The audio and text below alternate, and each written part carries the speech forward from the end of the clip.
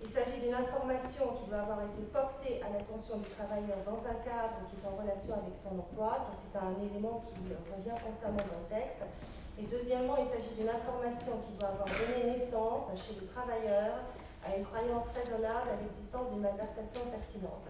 Alors ceci effectivement est la traduction euh, donc, euh, en français euh, d'un texte donc, de droit anglo-saxon, euh, ce n'est pas très facile, mais il y a toujours donc cette notion de euh, reasonable belief, c'est-à-dire la croyance raisonnable, donc euh, en l'existence d'une malversation qui a été commise ou qui est en train de se commettre ou qui est susceptible de se commettre. Donc c'est